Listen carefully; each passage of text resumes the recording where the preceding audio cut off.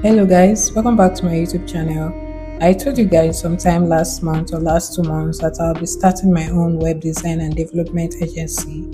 Well i'm in the process of building my website. This is the website. I started building it last month.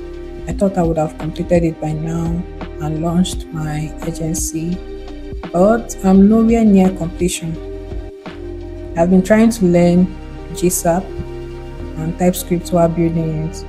And also, writing the website copy is not for the weak. These three things are really taking my time. August is about to finish and I really want to complete it before September. So today I'll be coding for 10 hours, 8 a.m. to 6 p.m. to see if I can finish the services page and the about us page. Let's begin.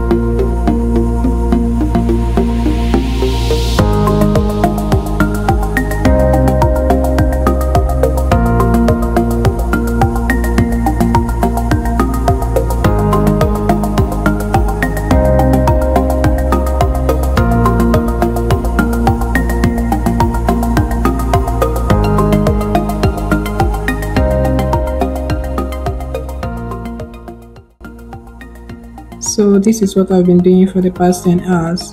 I worked on the services page. I thought I would have finished both the about page and the services page, but looks like I only worked on the services page. I spent over 6 hours on this website copy, the drop down copy.